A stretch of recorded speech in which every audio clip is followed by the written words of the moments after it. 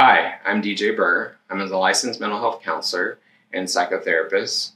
Uh, I specialize in working with people who are dealing with compulsive sexual behavior or sex addiction, codependency, problem spending or debting, and trauma.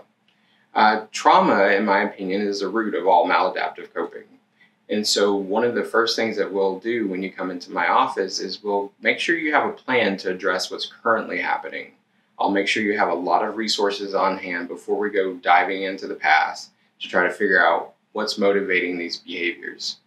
I think it's important for everyone to, um, you know, appreciate who they are, the skills that they have, and if you need additional support and tools, I have a whole bunch of them I can, I can share with you. Uh, and so, if you're interested in doing this work, I'm available for individual uh, therapy, and I also do some group work.